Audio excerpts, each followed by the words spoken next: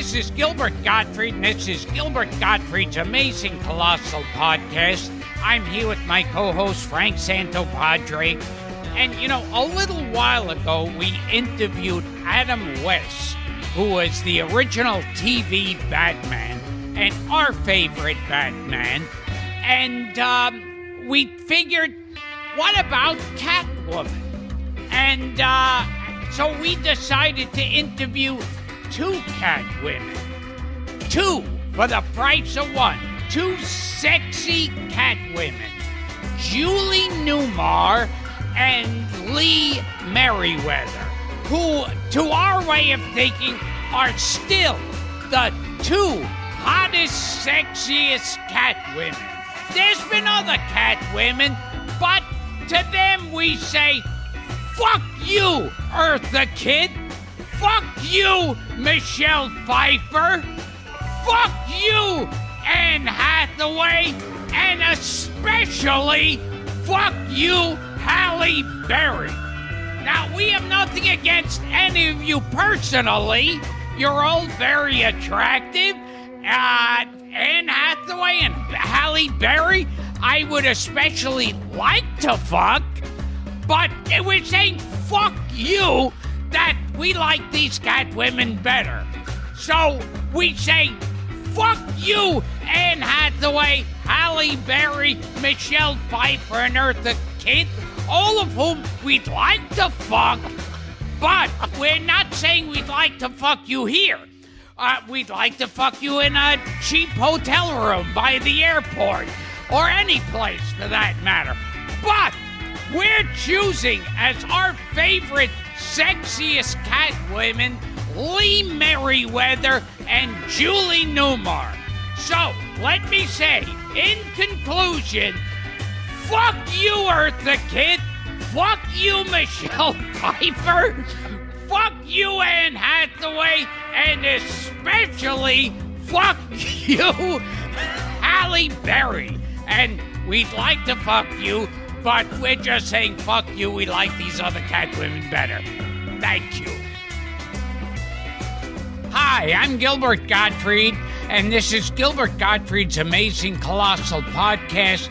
I'm here with my co host, Frank Santopadre, and we're here at the Chiller Theatre Expo. And our guest this week is an actress and former model who's been working for an impressive second, seven decades in movies, TV, and the stage. Her dozens of credits include Dragnet, Route 66, The Man from Uncle, Star Trek, Mission Impossible, Murder She Wrote, Space Coast, Coast to Coast, and Desperate Housewives. But she's perhaps best known as Buddy Ebsen's secretary on the long running drama Barnaby Jones and as Catwoman in the 1966 Batman movie. She's worked with Jack Benny, John Wayne, Phil Silvers, Rock Hudson, and Andy Griffith, and even J. Fred Muggs and Namu, the killer whale. Please welcome to the show Miss America of 1955 the beautiful and talented Lee Meriwether. Oh, good grief. Welcome, Lee. Did I really do all that? I believe you did. Are you sure? Oh, kind of good sounds like an obituary. It does. thanks. Thanks, sweetheart. Thank you very much. I really do appreciate all that. Uh, oh, and I'm not getting paid for this, am I? Oh, well, oh, well. It's okay. should we have said actress, former beauty queen? Be more accurate. Which, whichever, yes. Well, and actually, Miss America, well, we don't count ourselves as beauty queens. It's it's a it's a sort of a misnomer, really. Interesting. Because you're never judged on beauty per se. It's more uh, of your ability to um, handle yourself in difficult situations, like being interviewed and bombarded with questions. you know, and handling in the best possible ladylike way that you can. And, um, um, oh, you know, if you're able to answer questions uh, on the spur of the moment with people looking at you from all over the world, knowing that, and there are about like what was it, fifty thousand people in in the convention hall alone. Wow. That kind of situation. So So I guess when you uh, after Miss America, that's that's when you started getting into acting. Yes, actually, during the year, I was so fortunate because Philco was then a scholarship sponsor of the pageant. And uh, they had the Philco Television Playhouse. And as I was, my monologue was the, an Irish mother of 70 lamenting the loss of her last, last son to the sea. You know, they knew I could, could handle certain amount do, of. Do you remember any of that? Oh. Hmm. Maybe. It isn't that I haven't prayed for you, Bartley. It isn't that I haven't said prayers in the dark night till you wouldn't know what I'd be saying. But it's a great rest I'll have now, and long sleeping in the dark nights after salmon. If it's only a bit of wet flour we'd have to eat, or maybe a fish that would be stinking. Wow. Incredible. That's part of it. I don't know where that came. That um, you know what your mind Yeah. will store. An Irish author, right? you. Wasn't it? Uh, John Millington yeah. Synge. Yeah. Yes. Yeah. Great stuff. And and then so what was the first acting you did after that? Uh, well, well, the two shows on the on the um, uh, Philco Television Playhouse. Uh, one with Mary Astor playing my mother, and that was that From- was very from- exciting. Oh, yeah. Mary Astor From the I- Maltese Falcon. Maltese Falcon. Right. Yes, yes. exactly. Yes, sure. We talk about her. and uh, oh, what a lovely, charming woman she was. And uh, uh, the other one was uh, Uh, the Miss America story, and it was a story about a Miss America who runs away from the pageant. And on that show was the first airing of the song "There She Is, Miss America," Really? written by anybody know? I'm, I want to say Bert Parks, but I'd be no, wrong. he didn't write it. He sang it. He sang it. he sang it a lot. but but the first one Give me a to hint. sing it on the show was a man who a singer known for singing had a little white strip of hair right here Oh boy. good close Oh heavens. handsome handsome man and a good actor Not Rudy Vallee. no later later Much later. 50s think about 50s 50s. in the 50s Frankie Laine? no I'm just grasping at straws here. okay initials j d JD. Well, it wasn't Mm-hmm. James Darren. Oh, James Darren is here this Jimmy weekend. Durante. no I would love that. I would love if that were true.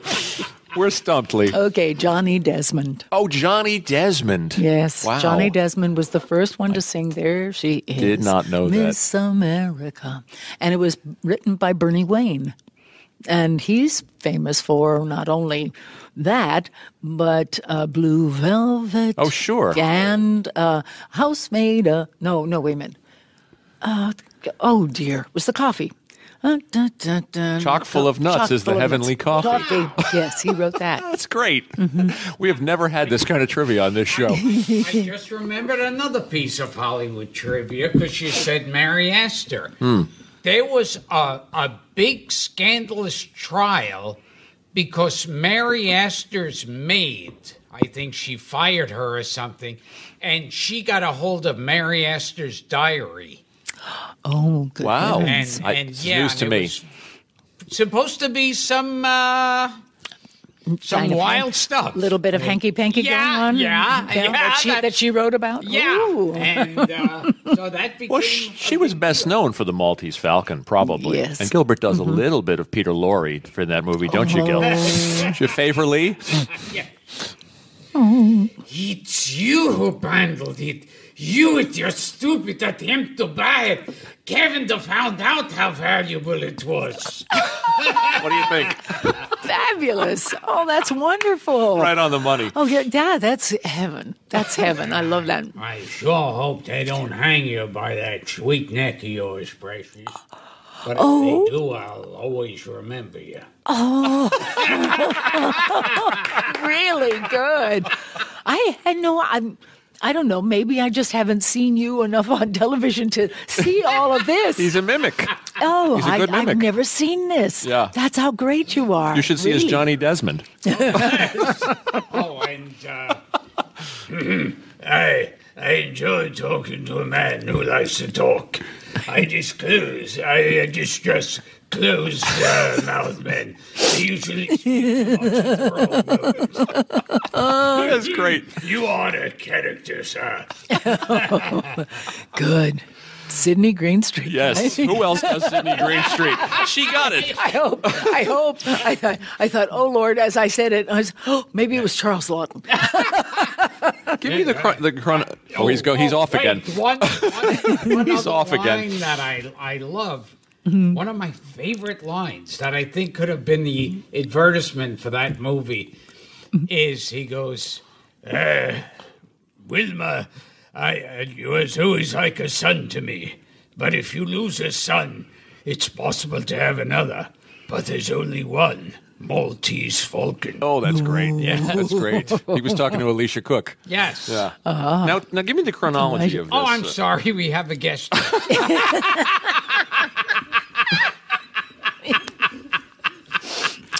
Did you go to the? No to- wonder your show is. I heard that your show is very, very popular. It No wonder. Oh, That's thank so good. Well, we told you we had Adam Oh, on the show, funny. and, oh, and Julie oh, was did on you with did you get to did you get a word in in edgewise? Adam's great.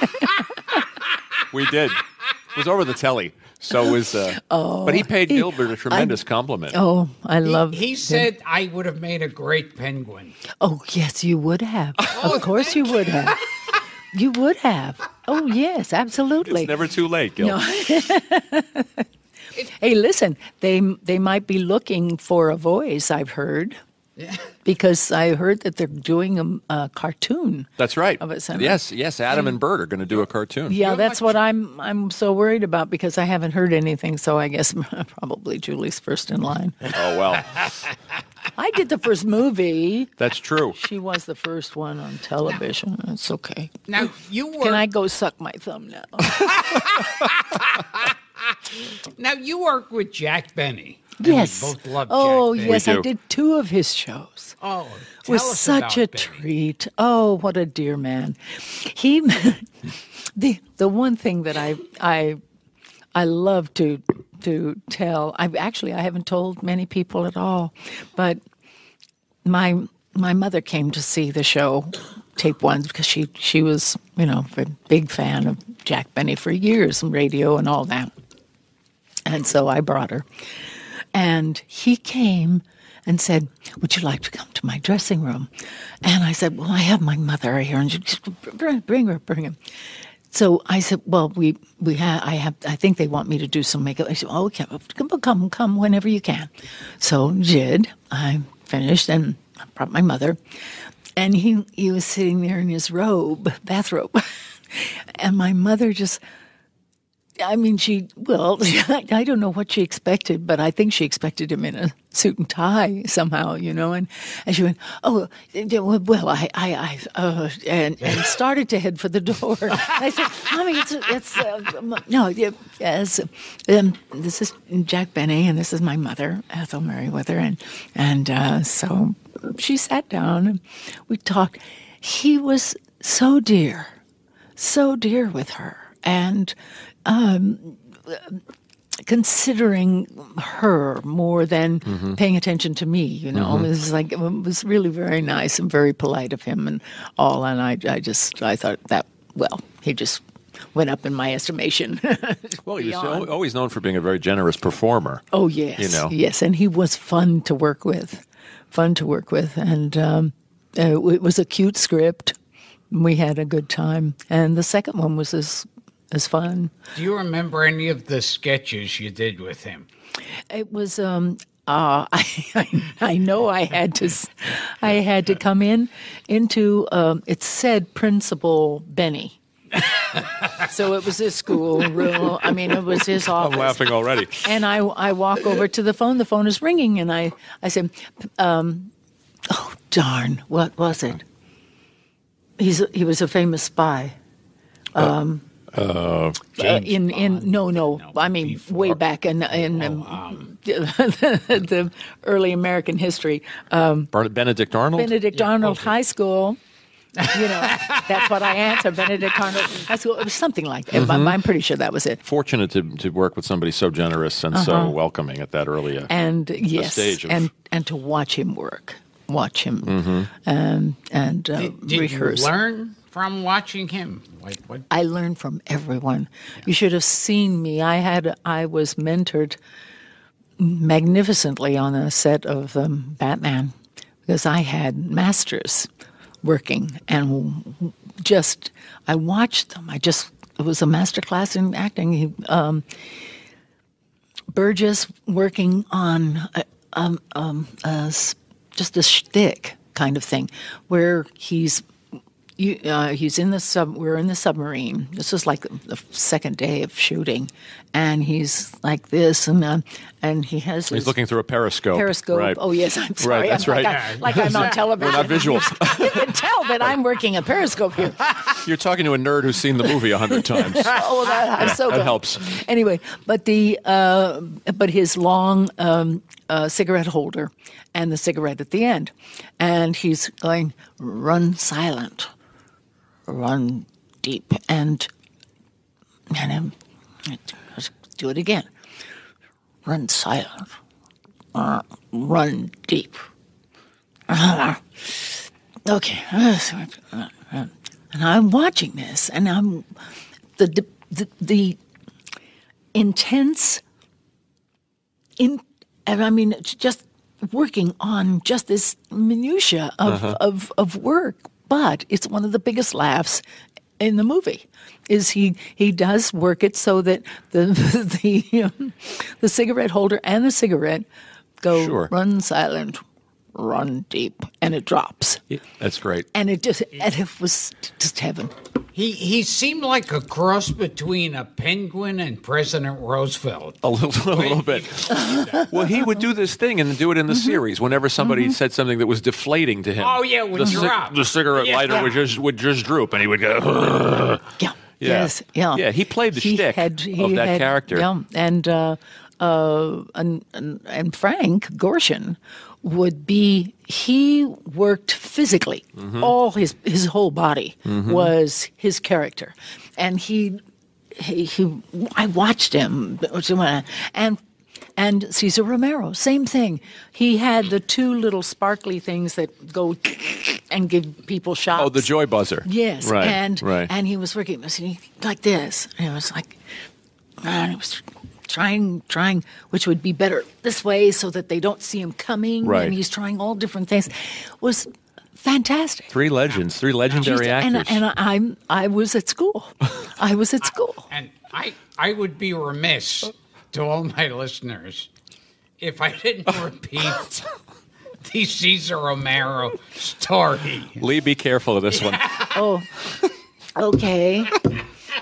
All right, go ahead. According to rumor. We can always cut it out. Yeah. According to rumor, what? According to rumor. La la la la. Cesar, Go ahead. Cesar Romero was gay. What? And yes. Oh, come on. Yes. Please don't interrupt my story. Oh, all right. Cesar Romero was gay. And what he was into was he would hire a group of young boys. Well, I mean, legal age boys, I think. You're making this And- up. And no, no. and this is what I heard. And then he would he would drop his pants and instruct these uh, guys to throw orange wedges at his ass. And this was My, my heavens. Oh, he's making this. He's making it up. No, this is what I heard, and and damn it, I swear to it. what you heard. Uh, yes. Okay. Well, then I don't have to believe it. believe it. I don't have to believe it at all. He's asked. He asked Adam the same question, and he asked Julie the same question, and Frankie Avalon, who worked with Cesar Romero, he asked him the same question. Did you ever see them delivering cartons of oranges? No, no, no, no. I did not. Good grief! Oh my Did, gosh! did you ever see guys leave his dressing room and go, no. Where's there a sink? My hands are covered with citrus acid. Good heavens! You're so bad. Oh, Moving past it, let's talk. How can how can you really move past that? Poor Lee It's has agreed much to do this, No, not knowing what she was getting herself Oh, into. I s- let's just talk quickly, since you brought up Catwoman. Let's talk about how you got the part. Julie Newmar was doing a movie. afraid yes, yes. She was doing a film. And- I think and McKenna's Gold. Is that right? It could be, could Yeah. have been, could Yeah. have been around the same time. Right. I really, I really didn't know why she was. I knew that she had been cast in something, and I think that's what my agent Right. told me, and and that they were auditioning actresses for the role. And I thought, oh, oh, I'll never get it. He said, "Will you just go and audition?" Uh Uh-huh. And so I, I did. I walked into this room, and this I swear to you, the room was filled with beautiful women, Zoftic, gorgeous. I mean, just said, They just opened it thought- up. It was a big, uh, oh, it was ca- a uh, big cattle I call. mean, it was, Yeah. uh, uh, was two, twice as large as this room, Uh-huh. twice as large, and this See- is a see, big room. Once again. big room. I know. on- yeah, you say I know, twice as large. We, We we could- could be in a closet, Closet. right We're in a small I'm rather, ballroom. I'm rather proud of myself. I thought of that before he said That's it. right. You- I was going to say, well, well Good we for you, have been Lee. in a closet. Good for you. I'm pretty good. Okay, every once in a while, every once in a while, I'm, I I come up with things. But but anyway, I thought, oh, well, how in the world are they going to even remember anyone? Right. But so I thought, what, what, what can I do? What can I do? I So I was reading the script and I was looking. And I was thinking, oh, well, luckily I I have had cats all my life, and I love them, and I I know what they do, and you know, so I'll, a lot of it it's got to be you know my movement and the whole thing. But I thought to stand out, how do you, you know, I'm not particularly well built. I I never think of myself as being good looking. Uh, that's when you grow up with, you know, from a gawky kid, and you, Sure. and you're you're made fun of at school, and and then when you're a teenager, and you say, oh no, who she, she's too flat chested, blah blah blah, and all that. You know, you you grow up that way, and you think I'm not I'm not pretty at all. So I that never entered my mind. But anyway, I thought to remember. And when I walked in, they all looked up, and I they ushered me into the room, and I said, um, well, "This is." And one of them said, "No, this is Lee Meriwether." Hello, it's nice to meet you. Pleasure, thank you. I talked in this voice. And I just talked like this and answered a couple of questions. What have you been doing? And blah, blah, blah. And I did, and I did, and I got. Then when they said, Well, would you read for us, please? So, and then I started my voice. I brought my voice down to, you know, and now, of course, from being raucous here in this studio, my voice is a little harried. But anyway, uh, I, I brought it down to a level that made sense and played, um, and they wanted me to try a Russian accent. Because you were Miss Kitka also, Yes. right? And so I tried that scene. And um, oh, I did a lot of kneading of my my uh, knees, you know, like a, a cat. Like a would. cat would. That's and, interesting. and I licked, I licked my hand. That's you know, hilarious. and like this, and and rubbed my face, and did that, and and did all sorts of cat maneuvers, Mm-hmm. and uh, then they said, "Yeah, well, thank you, thank you very much." And as I walked out, I heard, and I thought it was might have been the director. Leslie Martinson. Yes, Yeah. Les Martin, Yeah. bless his heart. And uh, he's, I think it was, but I'm not sure who it was. But um, I didn't tell her to do that. That's what I heard. And I Oh, thought, oh golly, maybe that's maybe that's good, maybe that's good, or maybe it's not. You know, I was, you know, back and forth and back and forth. Well, I went home the next day. I got a call, come in, and they wanted to see me again. And I didn't have to read. They just told me that I had the job and that I would be going into wardrobe. I went, it just uh, doesn't happen like that. Right, It really sure. doesn't happen like that, but it does. At least this once, anyway. And didn't you have to go back and loop cat sounds? Oh yes. Oh, that was hysterical. um, I had at, at that time I had never really done any looping. So I, I, but I knew what it was because I had seen movies where it took place in a movie theater or, mo- I mean, you know, movie studio, and the, they were doing making their own language up there, whatever. Okay, so I get the paper in front of me, and it's meow, meow, meow, meow. meow, meow, spelled out, M and, and drawn out. M Right. onto the side of the page. Meow, wow, wow, wow, all the way to the end. And. I, and I said, "Get- Does anybody know where this comes? Right, right. in the film, and they'll say, we, "We'll show you a film clip, Lee." I said, "Oh, thank heavens!" Like, I had no idea how how how it would fit. You know, I mean, that's one thing to read it and to do it okay is a meow, but it should match whatever I was doing. And so it was the riding on the penguins' umbrellas and heading to Oh, yes. Kitka's apartment. Right. You're And- sliding down those wires. Yes. Right.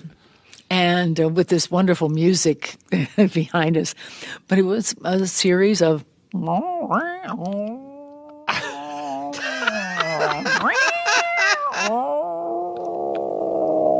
Luckily, I, having been raised in Phoenix, Arizona, we had a back fence, uh-huh. and there were cats in the neighborhood. Oh. And tho- those, I my my mother told me one day, she said, "Oh, they're mating again."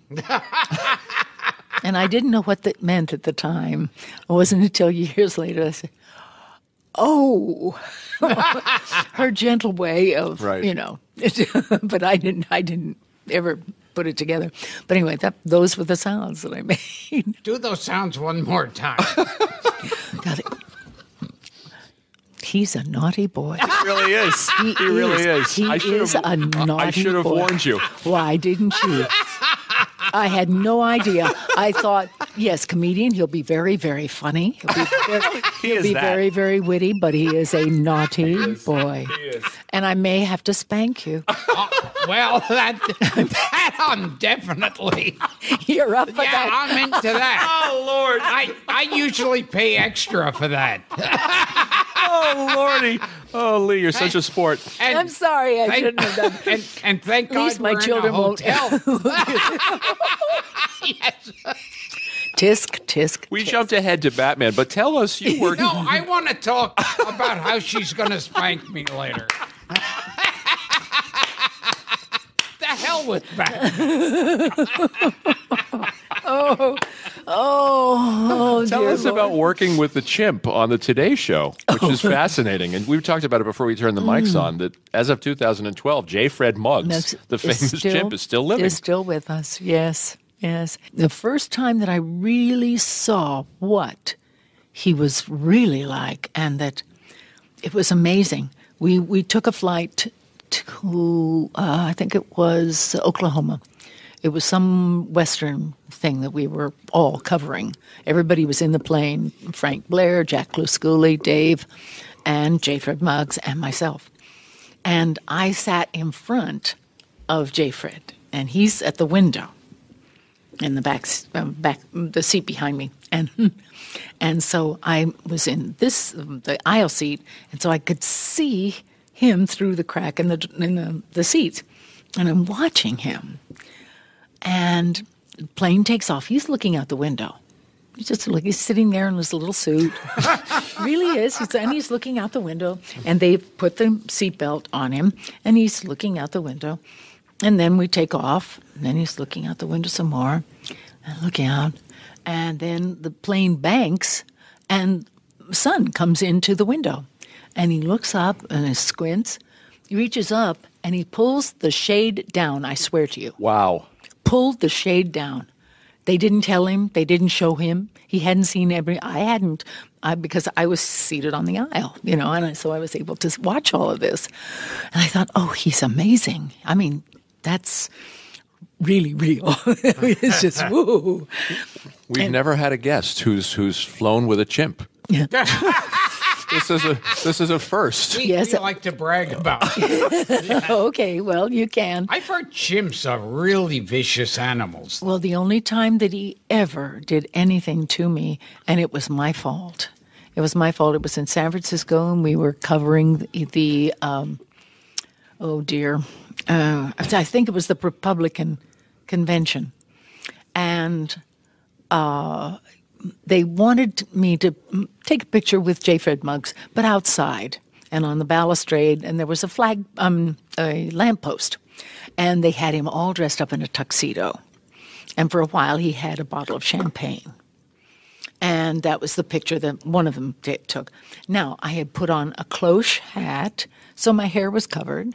I was wearing gloves and a new suit. They had, uh, the wardrobe had given me a new suit. And I didn't say anything. Stupid. Stupidly stupid. But I, I didn't. I just watched and watched. And I didn't smile. I was just watching what they were doing. And then they said, Come on over. We want to take a picture. Now, they didn't say Lee. They just said, over. So I walked over, didn't say anything. I put my hand out. He grabbed my hand and bit me. Well, I was a stranger and coming at um, you know, sure, at him. Sure, sure. And I went, Muggs, is Muggs, it's me. And he pulled his mouth away and looked at me and went, oh, this moan, oh, and reached out his hand. I said, it's all right, it's okay, it's okay. And then he put his arms around me. Wow. That was Wow. really something. That was just amazing. Yeah, goosebumps, goosebumps time. Yeah. Gilbert and I met in a similar way. He put his hand out to shake my hand, I bit it. bit him? Yeah. You bit him. Oh, that's it. Yeah, well, I can see you doing that. Yes.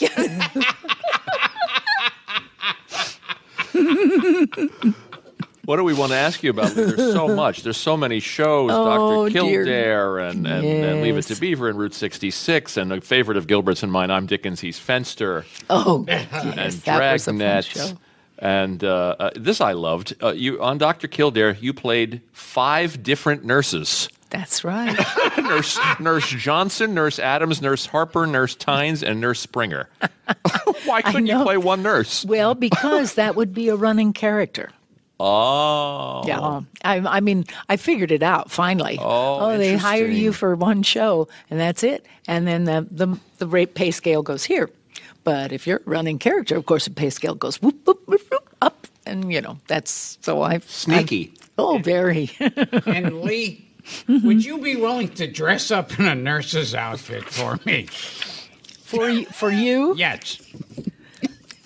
Really? Do you think. I am going to dress up in a nurse's uniform for you? You're sweet, darling. I adore you. I really do. I do just My about wife won't do that anything. But some somehow, yes, and I I've heard about your wife being very indulgent and I understand wives Poor do woman. this and I I you know, I, I I know she's beautiful and all that. But no, I know. I just I'm I'm thinking about it. I'm thinking and and I'm thinking. I'm thinking. I don't know where I'd get one, Yeah. so Yeah. so probably Okay. not. No.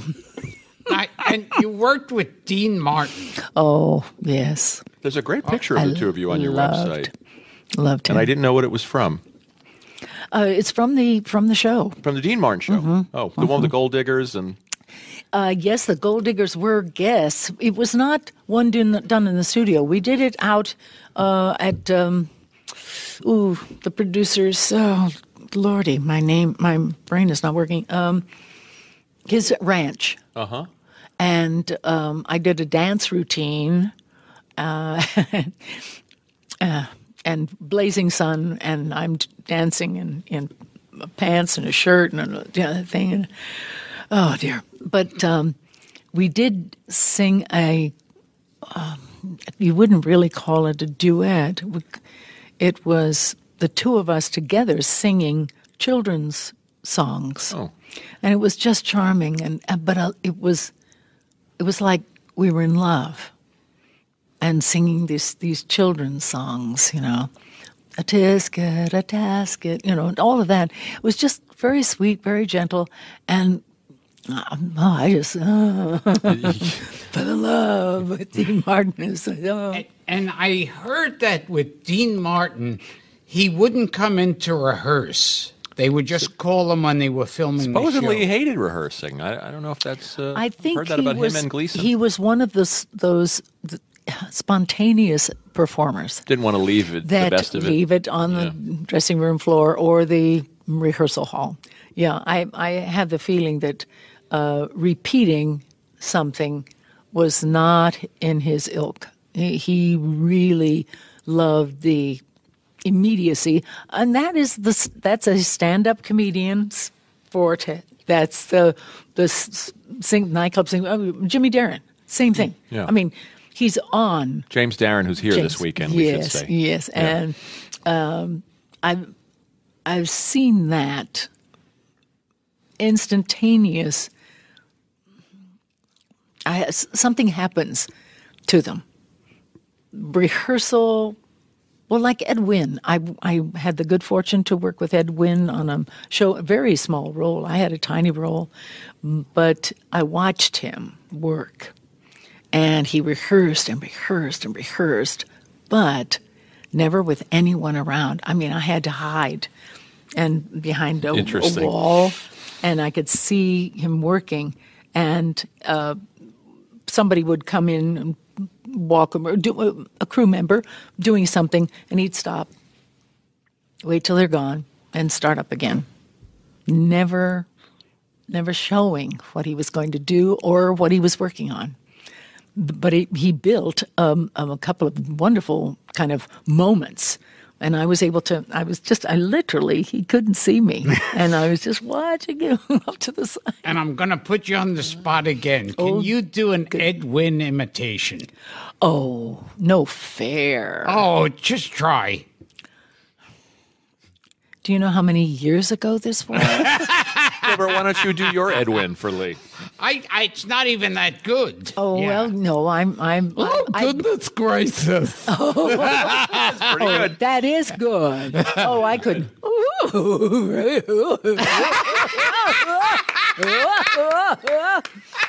as I'm as I'm going up, and then I'm coming down.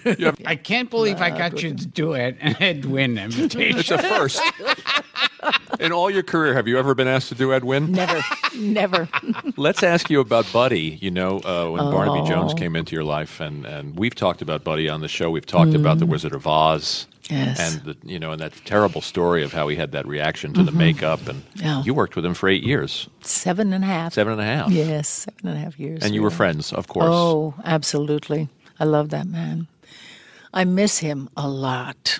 We used to talk on the phone when we weren't working, you know, and uh, just a dear, sweet soul. And just, I've been so lucky with the people that I've worked with. I really, really have. Except for today.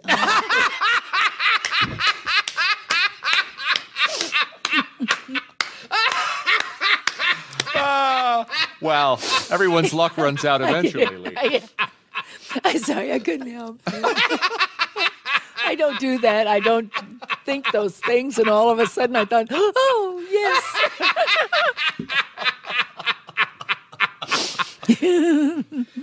Yeah, 'cause- Oh, that was funny.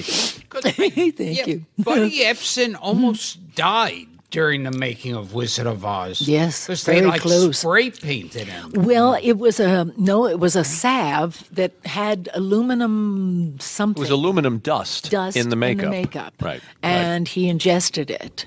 After somehow. switching roles with Bolger. Yeah, I Because he think was so. originally the Scarecrow and they switched Yes. parts. No. Yeah. Uh, and I think it was a. Uh, I think he was. Uh, how long was he in the hospital? I, I, I remember him telling me this story, but I thought it was just so awful. I just, I just blanked. Out. Well, if what I read was to be believed, I mean, MGM mm-hmm. didn't even believe he was sick. They ordered him back to the set. Yeah, that's what I I read about it. Yeah, yeah. He had a great career, and he mm-hmm. did so mm-hmm. much. Oh, he did. You know, he was a dear, dear man. Just, oh, he. Do you know he wrote thank you notes to everybody who was on his show? Are you serious? That's mm great. Yeah. Wow. That's something. And a show that ran for eight seasons mm-hmm. and, yeah. and several hundred episodes is a lot yeah. of thank you notes. A lot of thank you notes. Oh, yeah, I'd see him in his dressing room and he'd be writing out notes, you know, thanking them for their performance. Yeah. He was 95 when he passed. He had yeah. such a wonderful long yeah. run, and and I mm-hmm. remember him dancing. You know, you see, you can go back and see him dancing with Shirley Temple. Mm-hmm. You know, he had just great career. Oh, he told me a story about that. That was so wild. He was, uh, he was, he said that Shirley would work and watch. She would watch a Meglin Kiddie learn the dance steps from the choreographer and she would sit and watch, and that she would say, uh, the the choreographer would say, "You want to try it, Shirley?" And she said, "Is it set yet?" And the choreographer said, "Well, we've got, you know, we have to change some heights on this. You're going to be dancing on on pilings and and uh, barrel heads and and uh, the wharf, you know. And we we're changing around a little bit. When it's set, and she'd leave come back and sit there and just watch. Is it set yet? Yes, it's set. Son of a gun, he, he was there for that because he had heard that this is what she was doing and he wanted to watch her and see what she was doing. And she watched and then she got up. Now, she's watching them from the front. You figure the dancers are facing her it's hard to describe on radio, but the dan- dancers are facing her so that I know when I've had to learn a dance, I've had to be behind the dancers who are performing so that I can learn which way is right.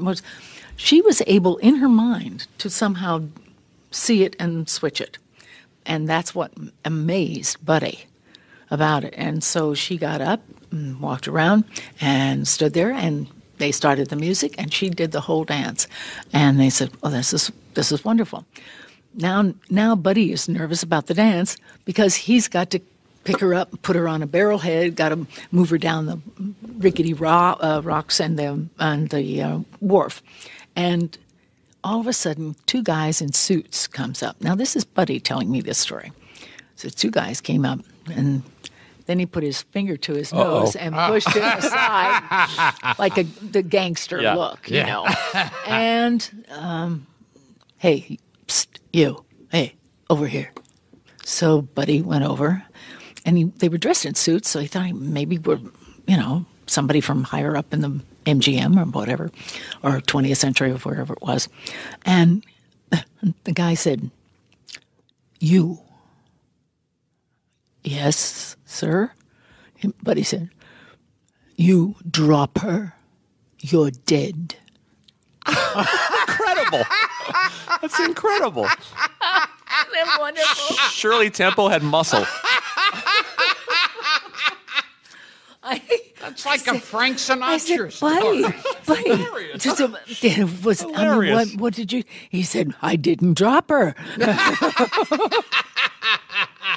I said, Well, of course you didn't because she's still alive now. Wow. so incredible. No. Shirley Temple. Yeah. Yeah. I'll never look at her the same way again. Especially in Captain January. Yeah. yeah. and what do you remember about John Wayne? Oh. John Wayne was uh, just amazing. He had, um, I found out years later that what he claimed to be a broken rib from falling off a bar stool, which he told us that's how he broke his rib, was actually part of the operation on his lung, which we didn't know anything about when we were down in Durango. Making a film called The Undefeated. Yes. Right. Yeah. And Um, but he he um, I, uh, what what one of the best memories that I have about the undefeated is John Wayne and Rock Hudson together, and they came to a party at the house where I was staying with Mary McCargo Moses, who was playing Rock's sister, and or a widowed sister-in-law, I think, or something like that. But anyway, and I was playing Rock's wife, but they were all at the party, and we just had such a great time. I I danced with Rock almost all the night long. He loved to dance. He loved um, improvise dance. You know, just uh, just go and, and you don't have to hold on. You just really, you know, we had such a good time. And Duke and his buddies were in the kitchen and they were playing cards. So the place dwindled out. Finally, everybody from the company went home. All that was left was, and cleaning, helping to clean up, was Rock and and John Wayne. I couldn't. He said, call, "You can call me Duke." I said, "I just can't. I please forgive me. I just can't, Mr. Wayne. I just couldn't. I couldn't do it."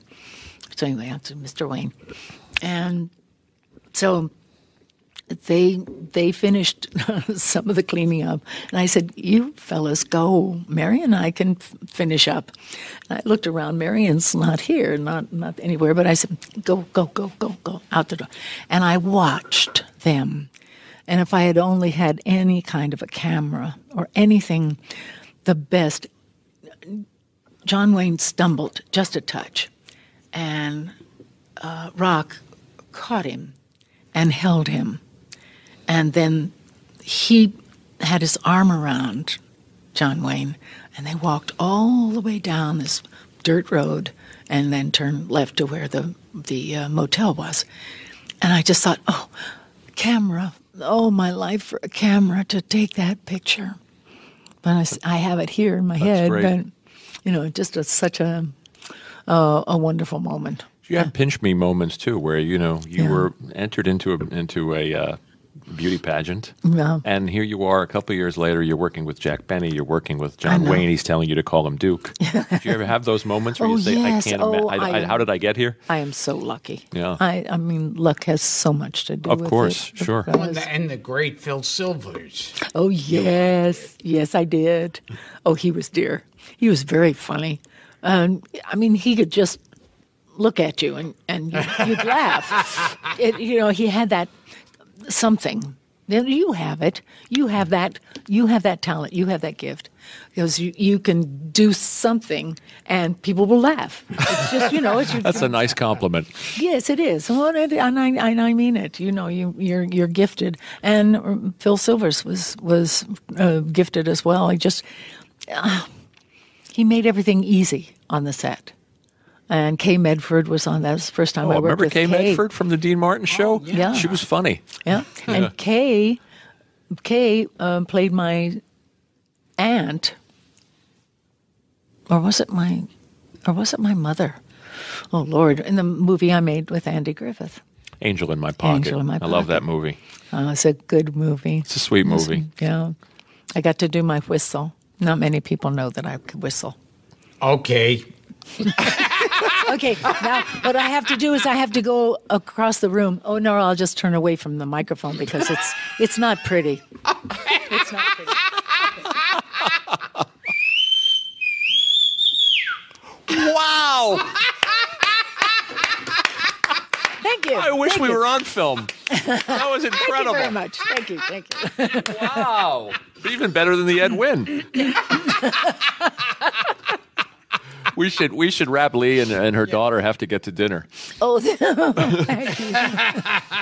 But gosh. That's as good an excuse as any. Julia, uh, just before you go, can you tell us what movie you went to see with Burgess Meredith? Oh, Viva Maria Maria. What in the heck is that? It was the only thing playing. And we were in on location in Santa Barbara. Right. And I, I thought, Well, there was no TVs in the rooms. We were in a motel. Buzz someplace. Meredith, they used to call him. no, I never did. never called him Buzz. No, Burgess. Burgess only Burgess. And, uh, or Mr. Meredith. Uh-huh. and um, I came down and I, th- I said, I don't even have anything to read. And just to sit there and, and lie in bed. And uh. so I went down and they, s- and um, Burgess was looking at the paper. And I said, there isn't a movie theater anywhere around, do you? And the woman behind the desk said, oh, yes, within walking distance. Within walking distance, there's our, our movie theater. And I said, Burgess, you want to go to the movies? He says, oh, yes. yes, let's go. Let's go. Let's go now. I said, well, we don't know what's planned. He said, doesn't matter. Doesn't matter. Doesn't matter. Okay, so we hot footed it down to them, and it was about oh maybe a ten minute walk or thereabouts. And here's and it was it was a foreign film festival, Isn't that funny? and there's Viva Maria Maria. So we walked in. There's no one there.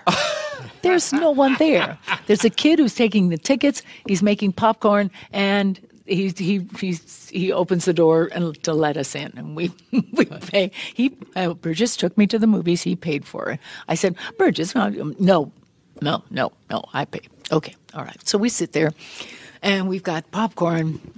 And and we're watching the beginning of Maria Maria. Catwoman and course the Penguin go to the movies. and yes, and he puts his feet up on the seat in front of us. Uh-huh. And the guy, the kid, came down with a flashlight and flashlight like this. Uh uh no no no feet on the things. and she's and oh, and he put his feet down. He's doesn't he know who we are? Oh, that's great. I said, "Oh, Burgess," and he said, "Well, come on." And so he put his feet back up again. it was hysterical. Gilbert loves. We talk about uh, of mice and men, and Oh, you know, yes. such a. What a brilliant performance that was. It's a funny My. thing. People think, oh, well, the Penguin and Rocky is really what they know him from. But he had this great. He directed a great picture called "The Man on the Eiffel Tower." Oh, that's yes, yes. Oh my was a gosh, I forgot about that. He was a that. Oh. Mm-hmm. director too. He just had all kinds of talent, and Gil- we, Gilbert and I talk about of mice and Yeah. men all the time. Oh, Such Oh, a good, yeah. such the a good. penguin and the wolfman together. That's right. Oh, I've I even did- thought it that way. Yes, of course. Penguin and the Wolfman, Yeah. which was Lon Chaney. And you're the only person to ever play Catwoman and Lily Munster. That's a yes. Well, I guess I did. That, that's true. With the Munsters today, with John Schuck, Today. who we also love. Oh, John is dear. We have we've had such fun with that series, just and because we filmed that in front of a live audience. Ta-da! Little different than anybody else. Sure, Yeah. sure, sure. No, you really had to, uh, you know, be there every second. There's was- so there's so much hmm. you've done. There's so much we could cover. and God, we didn't talk about Star Trek, and we hardly Oh, talked about. could- I'll Andy come back Griffith. again. We'll do another one. We want we want to ask you about Victor Buono next time. oh, time. don't! Don't. okay, we won't ask you about Victor Buono. oh no, it's all right, Victor. Oh, he was so sweet, and well, he's gone. Yeah, he was. Just I was telling Gil, Gil and I were talking about him once, and he used to come on the Tonight Show and read original poetry. Do you remember this? Oh, yes. Victor Buono. Yeah. He was funny. Yes. I mean, he Yeah. was oh. funny like stand-up comedy mm-hmm. funny. he could You know, be. yeah, he and- could very well be. Well, to play King Tut the way he did, Yes. he had to have had comedic talents. He had real chops. oozing out of he every would, pore. He would come on the Carson Yep. show. They would set up a lectern for him, and Oh, he'd come out and he I would remember. he would read. And I remember one line was a, a little kid teasing him, saying, "There's the fat man from Batman." He would write his own. They were sort of Ogden oh. Nash kind of poems, but Oh. yeah. but crazy, very clever. I remember him doing an entire poem about eating on cruise ships. yeah, yeah. And he said something like, He was brilliant. and the rocking seas and salty air and butter, butter everywhere. We'll ask you next time. I was on that ship once. oh, yeah. Oh, I really was. I mean, in the middle of the Mediterranean, my mother and I, uh, she was taking me to Greece. She was going to see Greece, and we were going to get there. And, and, and so all of a sudden, oh, wow, the whole thing. I mean, literally tables going Oh, yeah. like, I've been like on this, cruise ships. down like that. Oh, I thought, well, I guess Well, at least I'm with my mother. and Yeah. We'll go down together. Uh, and that'll be It was it. a little like this interview, wasn't it? Like, That's that's the way I feel. I'm I'm with my daughter here in this room, and um, we'll you to- go down together. we don't want you to miss dinner. Well, I'm Gilbert Gottfried, and this is Gilbert Gottfried's Oh, is Amazing that who you are? Oh my gosh! I really thought I was. Oh, I thought he was somebody else. I really did. Oh Most my people gosh. think it's Alec Guinness when I talk. perfect. You couldn't have picked a better one. Oh heavens! and, and and I would like to continue this interview, but uh, Catwoman herself, Lee Meriwether, promised to spank me. Uh, we have it recorded. She said she'd spank me, and we're in a hotel.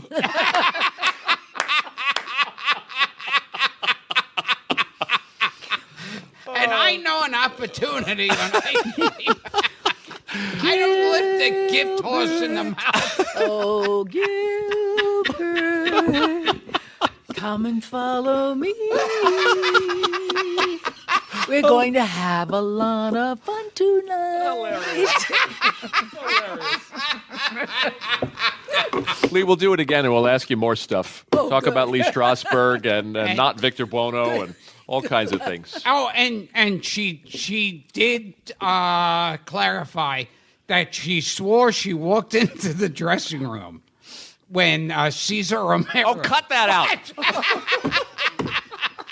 You're so bad. Oh, oh, I'm sorry, ladies and gentlemen. Um, I just, I really apologize. I know apologize you were every expecting week, Lee. something classical when you tuned in, but it's it's been fun. Thank you for doing it. We had a blast. I, I did too. you silly Billy. He's a silly man.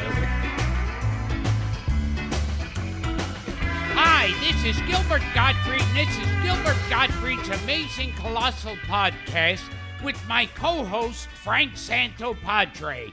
Our guest today is a dancer, choreographer, author, and Tony winning actress who appeared in classic musicals like The Bandwagon and Seven Brides for Seven Brothers, and hit TV shows like Star Trek, Bewitched, Love American Style, and Route 66, and The Twilight Zone. But she's best known for her iconic portrayal of Catwoman on the 1960s Batman series. And for my money, the only Catwoman, the very sexy Ms.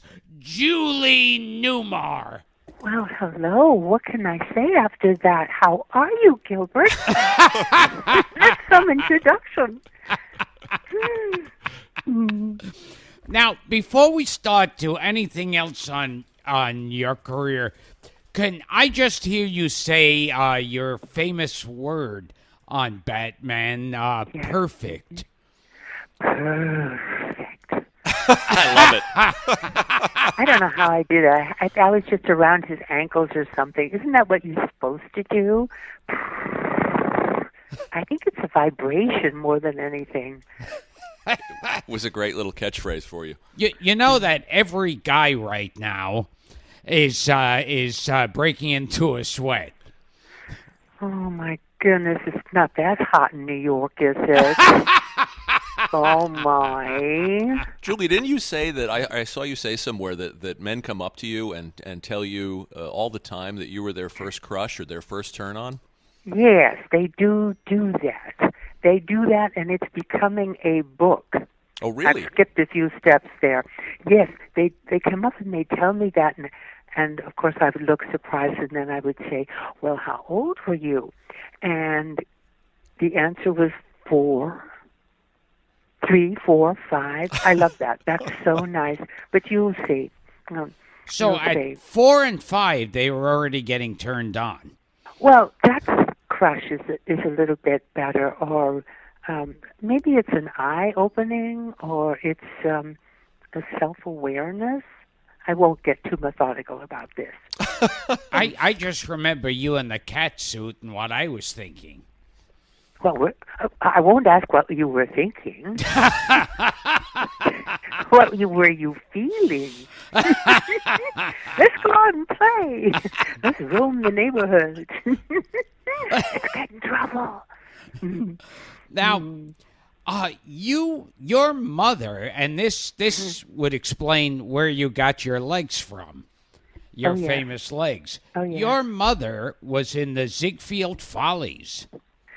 She was in 19, well, it was actually 1919. She was in the Ziegfeld Follies, and, and Eddie Cantor said that my mother had the most beautiful legs in the Follies. Now, your mother, well, you, you said that Eddie Cantor said she Mm-hmm. had the greatest legs. And now it, it's funny that years later, you would be in the Eddie Cantor story. Oh, I think that was a walk through or a faint through, or how did anyone ever even notice?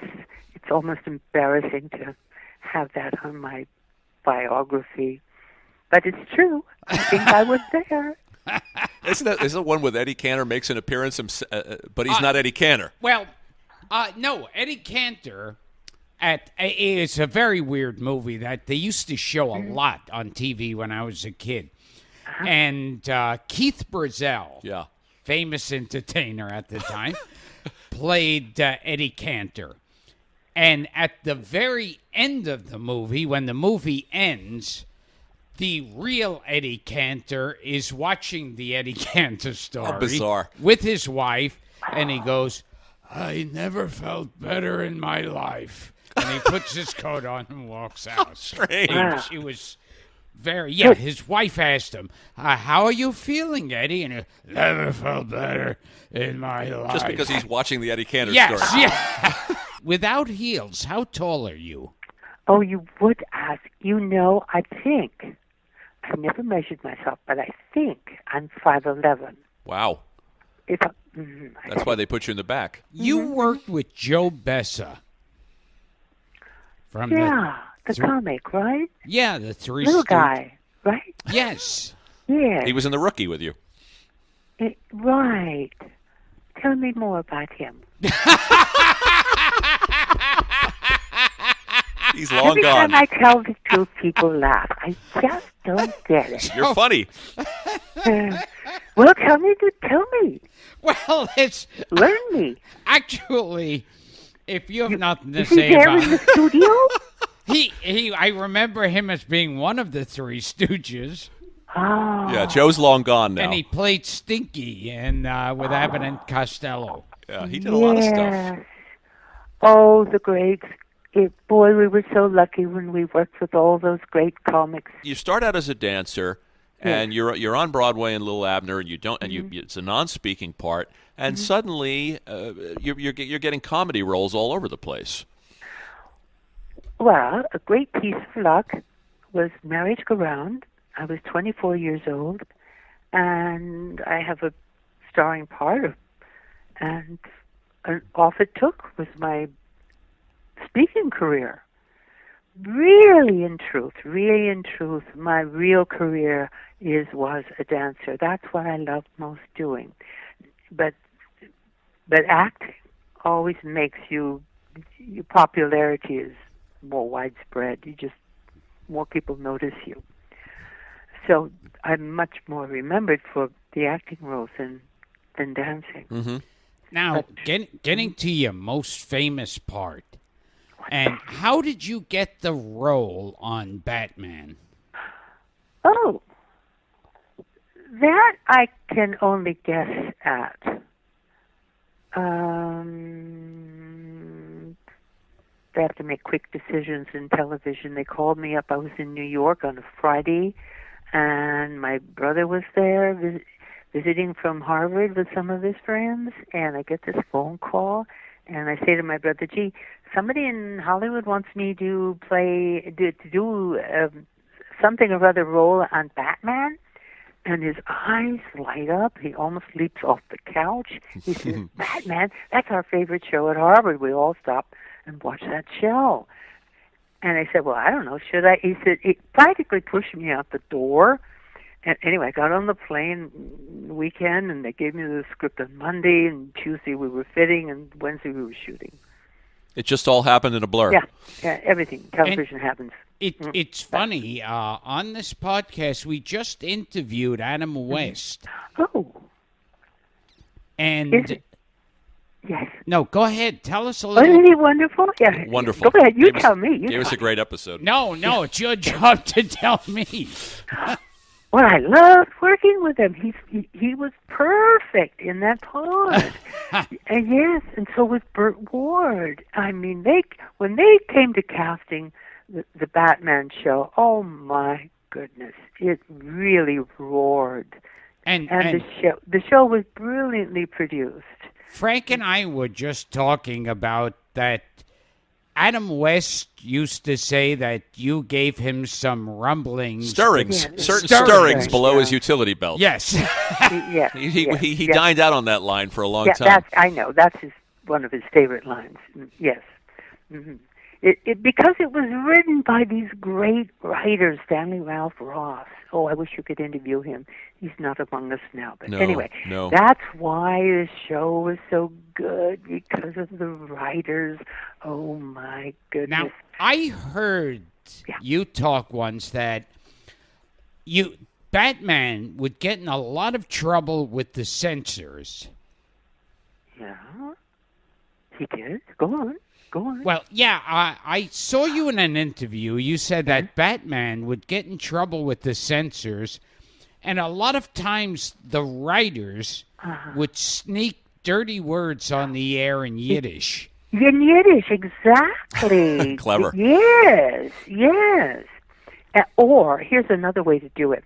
If you say the word fast enough, it kind of slides over their heads. Mm-hmm. Funny. Did, Yeah, did they give you any indication? With Bill Dozier, the producer, uh, Julie, of how of how the series was supposed to go? I mean, you, you did an early episode in '66. You were in the first Oh, season. no, Did they say play it camp, play it straight? Did they let you do what you wanted to do? Oh, you had to play it straight. If you didn't play it straight, you you just you'd muck up the gears. Mm-hmm. Uh, you had to because it's so over the top. So that means the straighter, the even more straighter that you play it, the funnier it is. If you play it funny, then it it's it takes it off key, or it, it kind of you know it doesn't doesn't work. The, the timing isn't right. It doesn't. It has to emotionally hit a certain part, a certain reality point. You have to say, "Oh yes, that's true," corny or exaggerated as it is, but um, there's a certain art in in playing high comedy. Now, do you remember the other villains on the show that you No, because I didn't work with them. Well, you worked with Michael Rennie when he played the Sandman, the actor from the day oh, the Earth yes, stood still. that is, you're right about that. Yes, mm, yes. He had a very big, heavy, um, collegiate raccoon coat. That's which right. I think he complained about rather a lot. He was the Sandman. yes, Yes, he was someone who put people to sleep. I never Ah. quite understood his character, but you guys had some fun chemistry. Ah, yes, yes. And you also work with Lesley Gore, the, the pop singer. Well, she was the niece of the assistant director. Oh, she was Howie Horowitz's niece. Right, exactly, and a star on her own in those days, and became an even bigger star in uh, writing her music and uh, It's My Party. recording and all that. Yes, It's funny because you were. vil- I remember even as a kid thinking that you were villainous and you were you were scary in a way, but you always found the comic beats. You always found the comedy moments. Well, when you you have henchmen written into the script that have an IQ of about 99 and they mess up everything that Catwoman wants to get done, you know it has to be a lot of fun to do and to play. And it, yeah, I just have just total glee and happiness from remembering this show. One of your henchmen was Jock Mahoney, who was I think Sally Field's father-in-law or stepfather. Uh, Oh. something like that. I'll have to do my do a little bit more research on it. Oh. She didn't tell me about. And you did an episode with Chad and Jeremy. Speaking of singers, Yes, and they they're touring now these days. they're still I around. saw them. Mm-hmm. Now, I think Chad and Jeremy are the ones who a lot of people think uh, Mike Myers got his Austin Powers look Interesting. from. Well, they turned up in a Dick Van Dyke episode too. Oh, yes, Chad where and they're Jeremy. kind of like the Beatles. Yes. And they have to hide out at the Petrie house. Yes, on the Batman episode, Catwoman steals their voices, which you must Oh, yes. remember, Julie. Oh yes, of course. Yes, yes. She did a good job. Yes. And they were always killing you off on that show. They would. oh, They can't. So They many can't Catwoman episodes ended with your death. Oh, it's impossible. Yes, I just fell into a pit with all that gold. The first one, you're in a bottomless I pit in the know, perfect rhyme. but you, but cats have nine lives, so they have to bring me back, right? They did. They, six times. I did six one-hour shows. And wh- why Hmm. did Eartha Kitt replace you? I, I don't think I ever knew. Um, Were you doing something? Were you doing a film? I, you know, I don't recall, but I think it was a good idea to bring a new um, look on the on the show, and that was in the third uh, year. Yes. and I, it, but did- they were half hour. She did a half hour show. I did hour long shows, so it was much more difficult then because when you have to write for so many characters in within 22, 26 minutes, it's much trickier, much more difficult, and um, and You So- you were on with another guest we've had on the podcast. Barbara Feldon, on Oh. Get Smart. Oh, that's right. You were the you were the maid, the housemaid who turned out to be a spy for KAOS. Uh, yeah. Did I have a French accent or a Swedish accent? Something. I, I was think you always were. hired I think for you my. were Swedish again. I was always hired for my accents. Yes. And what was it like working with uh, Don Adams? Divine, divine, wonderful. Comics, comics are very serious people. hmm They are the most serious people. Hmm You did a lot of '60s TV, Julie, and, and you I did, did, you did yes. Star Trek. You did the Monkees. We just talked to Micky Dolenz Oh. last week. The Monkees was so much fun. That was probably the most fun I ever had. Yeah, you played uh, a girl who each one of the Monkees sees and is immediately hypnotized by. The goddess of the laundromat. The- yes, April, April Conquest or Uh, something. April Conquest. Yeah. And, Yeah, and you said you had kind of a crush on Davy Jones. Well, who didn't? He was the shortest. He was the dearest and He was sweetest. a foot and a half taller than him. I love that short man. I like short men. They I'm do pretty everything short. Twice. Gilbert's very short. Yes. I can tell. Yes. I'm, I'm, I'm practically Billy Barty. She can tell over, Oh the, over my! the phone. What a, speaking of funniness. Oh my goodness! You know that Billy Barty used to play on my father's football team at Los Angeles City College. Wait a you minute. serious? See, for people who He don't know, Billy him Barty was a midget. Now, now my father's six feet four, okay, and they're having this big game, you know. So I don't know whether it was during the halftime or what, but they brought Billy Barty in, and he was he would take the place of my father. He was, but my father was a coach, and my father was also tight end. And he would catch the ball and run around, and well, the audience was just wildly entertained. So, oh yeah, Billy Barty, we love him. Well, your father was a player in the in the old American Football League. Do I have that right? In the AFL. Oh yes, In- in uh-huh. so- yeah, they didn't bulge so much. You've seen the, all that, all that goes back. What? Yeah. hmm I guess Billy Barty was part of the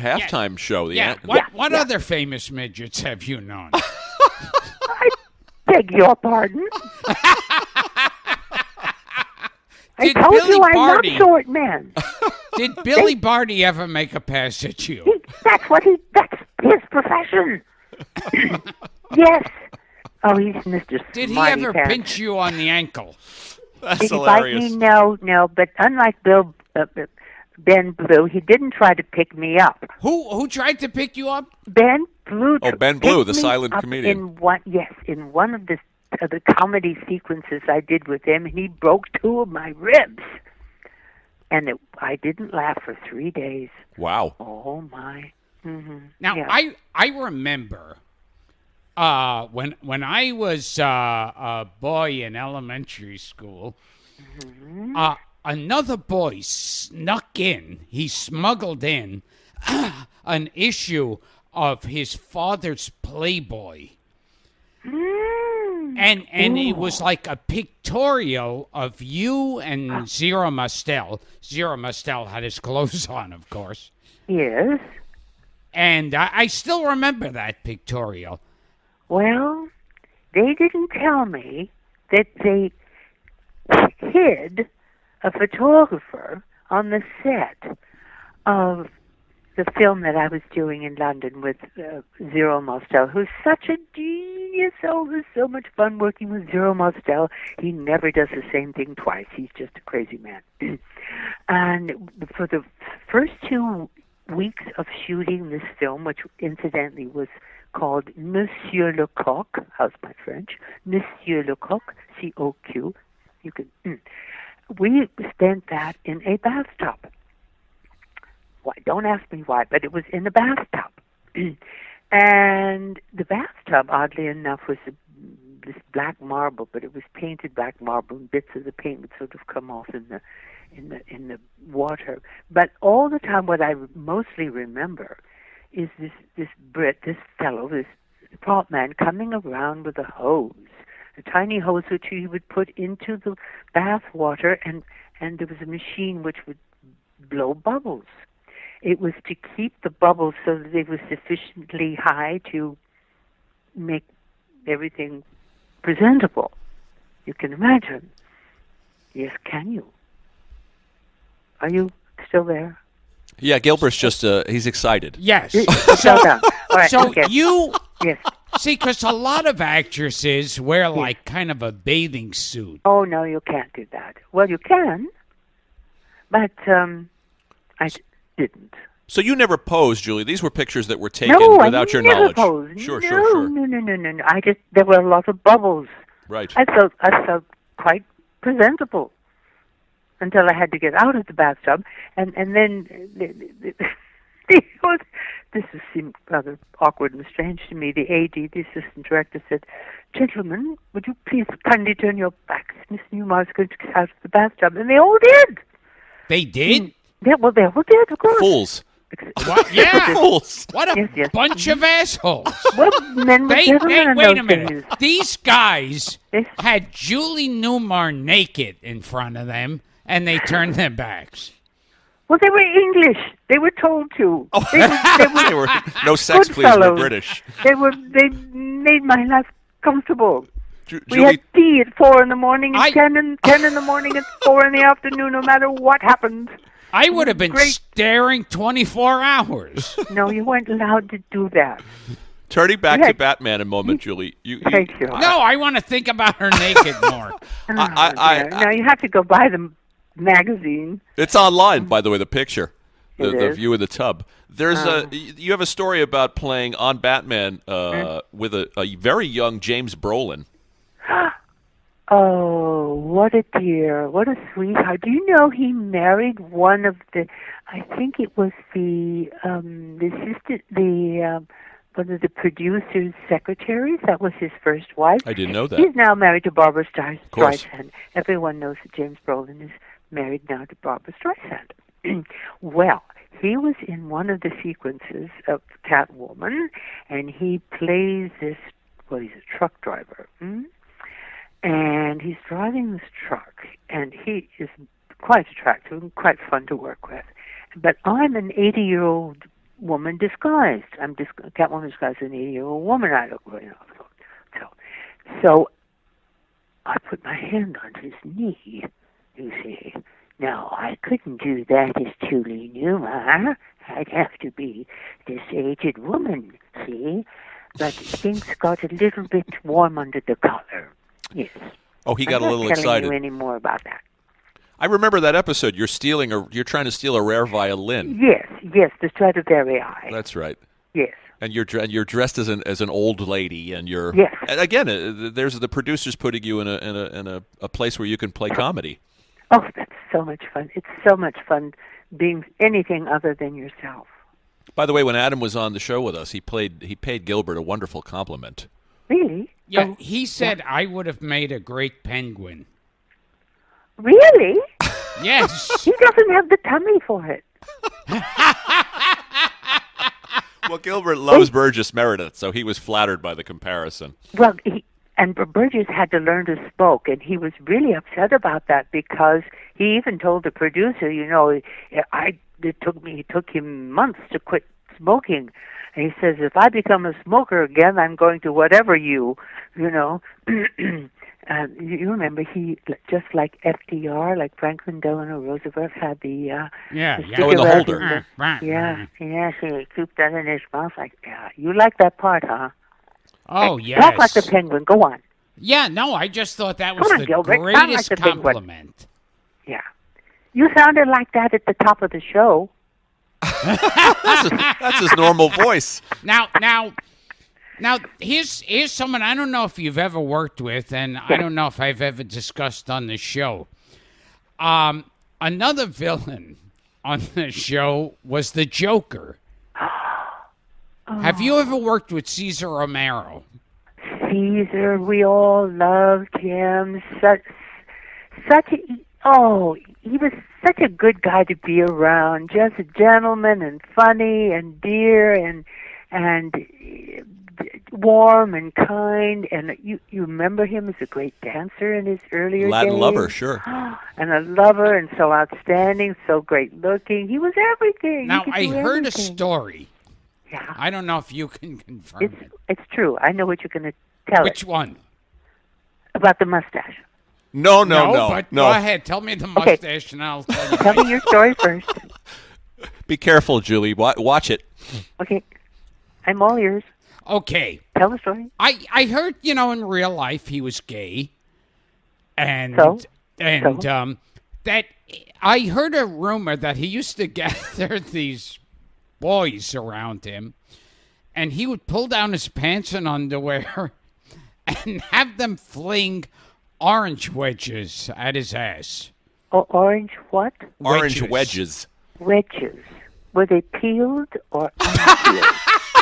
that matters.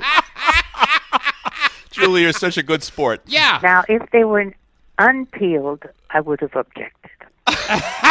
Gay or not. So. So in Okay. all your You know the years, story of the, of the mustache? Well, that he Okay, but- refused but to shave wait. the mustache. Wait, right? Okay, wait. here's the, let me tell you the story of the mustache. I okay. heard he got uh, orange juice in his mustache. Well, we told that that story. Okay, so he had a mustache, but you know it was always it was always covered up with makeup. He would not shave it off. Oh, yeah, that's famous. Okay, it's famous, but why? Because in his early twenties, he had, he had been smitten with or fallen in love with a woman who was about ten or twelve years older than he, and he, he was very taken with her. And this woman evidently felt he was the Latin charmer, and a great deal of it had to do with his mustache. So from that day onward, he's ne- never removed it. It was always his his part of his aura, part of his uh, um, who he was. Yeah, he made them put the white grease paint over the over the yeah, stash. yeah. Well, I works in television, maybe, but um, I don't know. Have you seen the the new DVDs that Warner Brothers has put out? We haven't yet. Have you seen them? Th- these are the DVD and the Blu-ray of Batman '66. Sure. I hope they were kind enough to send you a complimentary copy. No, Oh. they've not. Bastards. They were supposed to, and I've not received it. Should be my gift. It right? should be. Yeah, well, I, I did one of those after talks for them. Anyway, anyway, the the film is just gorgeous. Because they've been restored for the first time in many, many years. Restored, yes, and the color is out of this world, and all the uh, it looks incredible, better than than when when it was first shown, which was on smaller screens. So now you can see it on the big screen and all its color colors. It's really gorgeous. You uh, were having a, a famous feud with a neighbor of yours. I cannot. Who is that? In Brentwood. know. Oh, really? Uh, uh, He, did you know he moved? yeah, Oh, he finally moved. Jim, Jim Belushi Oh, Mr. Belushi. from Everybody, uh, The World According Everybody to Jim. Everybody loves Jim. Yeah. Yeah, that- according to Jim. The name of the show. According to Jim. to Jim. Jim, yeah. Well, he changed the title. Okay. yes. hmm Well, we should set this up for people. You and Jim Belushi were next door neighbors in Brentwood, Yes, I'm still here. hmm Yes. hmm Yes. and there were some there was some some conflicts. Well, Mr. Belushi wanted to build the three-story house uh, where you you can only have your garage, and I brought that to the attention of the authorities, and it made him rather mad. yes. Anyways, we had a skirmish, this, that, and the other, and eggs flew over the uh, over the couch or whatever. Oh, did you was did you egg his house at one point, Julie? What's that? Did you egg his house at one point? I might have done so. I mean, listen, that's happened to other people. Performances and such. I oh, don't I like mean, Catwoman throw eggs at, at, at his house. Oh, Must have seemed dear. surreal to him. Oh dear. Oh my. Wow. But you you I- finally settled it by doing an episode yes, of his sitcom. Settle, settle, settle. You always settle, settle, settle. Good for yes. you. Do not go to court. Good for you. yeah, I've had fun. We hmm. have been talking to the more sexy than ever Julie Newmar, Catwoman herself, who to this day still gives Frank and myself and all our male listeners some stirrings under their utility. Curious, belt. curious stirrings. Yes, to quote Adam. Yeah, curious you- stirrings under our mm. utility belts. You and just let most you just let me get away with it. most importantly, Mm-hmm. Julie Newmar came on my podcast today and confirmed that when she was on the Batman set, she accidentally walked into Cesar Romero's Now cut that out. dressing room and saw him standing there with his pants around his ankles and boys throwing orange wedges at his naked ass. Unpeeled ones. I didn't hurt him.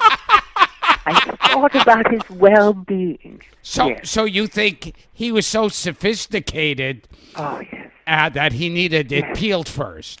sophisticated and and yes, and he laughed. Oh yes, yes. He he made everything just a pleasure to do. hmm To perform. He was wonderful. Well, God Ju- bless you. Thank you. Julie, you were wonderful. Thanks for doing this for us today. I enjoyed it. It was a treat. Julie Newmar, huh? Julie Newmar. Thank you. Thank Thanks, you. Julie. This has Love been you. Gilbert Gottfried's amazing colossal podcast with my co-host Frank Santopadre and the woman who confirmed the Cesar Romero story, Julie Newmar. Thanks again, Julie. Thank you, Gilbert. Thank you, Frank.